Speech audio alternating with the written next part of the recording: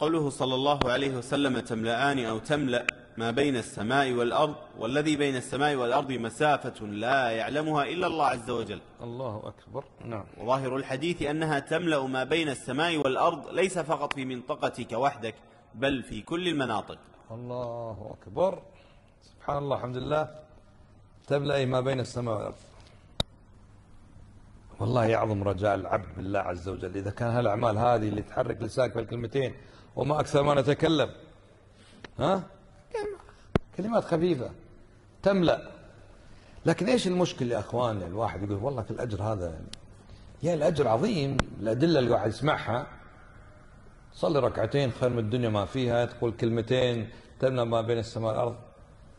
الذي يخيف المسلم هل قبل الله منه أو لم يقبل الله منه؟ هل هو مخلص بهذا العمل أو ليس بمخلص؟ هل سيقع بشيء يحبط عمله؟ هل سيسلم من ذلك؟ هذا الذي يخوف العبد. وإلا لو نظرت في الأدلة التي فيها أجر تجد سبحان الله أعمال يسيرة ذات أجر عظيم.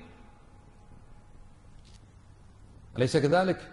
أشياء عجيبة عجيبة. أنت يعني مثلا غدا الجمعة إن شاء الله تعالى. قال النبي صلى الله عليه وسلم من غسل يوم الجمعة واغتسل وبكر وابتكر ومشى ولم يركب.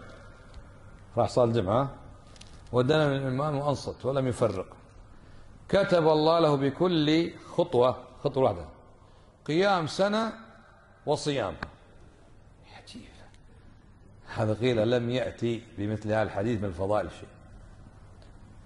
لا يمكن بعد مسجد شوي بعيد. ها؟ يمكن مسجد عند بيتكم ليس بمسجد جامع. ما في إلا بالقطعه اللي منك تغتسل مبكرا وتمشي ولا تركب وتروح المسجد وتصلي الجمعة. والجو ما شاء الله لطيف وربيعي. تقرأ لك بعد مكسوم القرآن.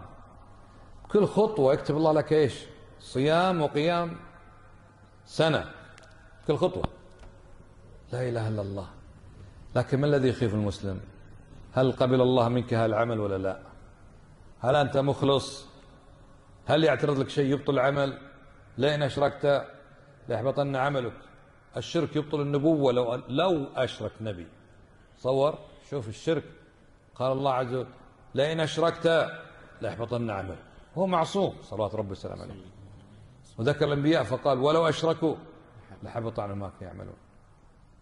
الذين يؤتون ما أتوا وقلوبهم وجلة. تعجبت عائشة. ما دام يقومون بأعمال طاعة الله ورسوله. لماذا قلوبهم وجله يا رسول الله هم الذين يصلون ويصومون ويزكون ويزنون ويسرقون؟ يعني لأنهم مع قال لا. هم الذين يصومون ويصلون يصلون يصلون ويصومون ويزكون ويخافون أن لا يقبل منهم. هذا المخيف.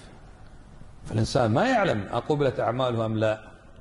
وبدأ لهم من الله ما لم يكونوا يحتسبوا مفاجآت المصيبة المفاجآت.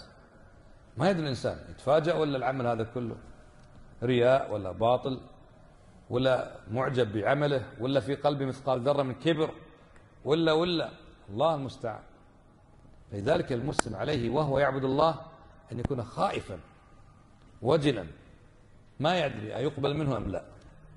والله المستعان.